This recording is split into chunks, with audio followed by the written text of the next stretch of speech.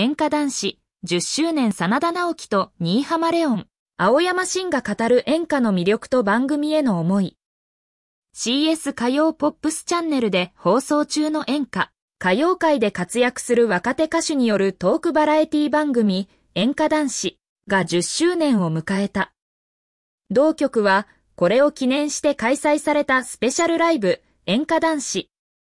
10周年フェスティバルの模様を9月28日、土曜日午後4時からオンエアする。番組の出演者で記念ライブにも登場した真田直樹、新浜レオン、青山新の3人が座談会を開催。演歌の魅力や番組への思いなどを語った。写真、笑顔で写る真田直樹、新浜レオン、青山新の3人。ほぼ同期の3人。年齢では真田さんが一番上だが、デビューは新浜さんが少し早い。真田、そうですね。ほぼ同期です。僕のメジャーデビューとシンくんのデビューが同じ年2020年で、レオンくんが2019年だから先輩ですね。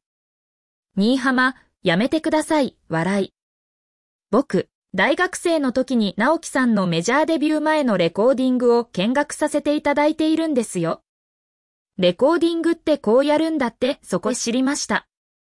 真田、レオンくんはその場で歌を覚えて、ブースの外だったけど一人で熱唱して、周りのスタッフに怒られたんだよね。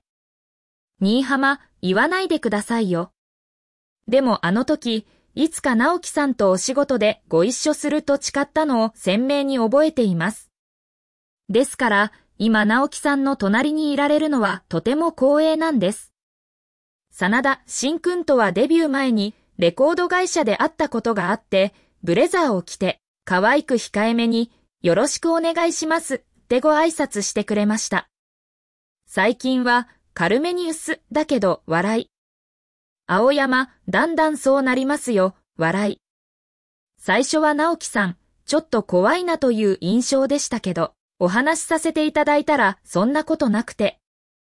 今はすごく兄貴って感じです。演歌界は先輩後輩など礼儀作法に厳しいイメージがある。青山、もちろん厳しいです。真田、いや、それはしんくんが言っちゃいけない、笑い。新浜、彼は、直樹さんのお師匠さんの吉幾三さんたちに誘っていただいた食事会の席で、酔っ払って寝ちゃったんですよ。演歌の世界で一番に近い年下なのに、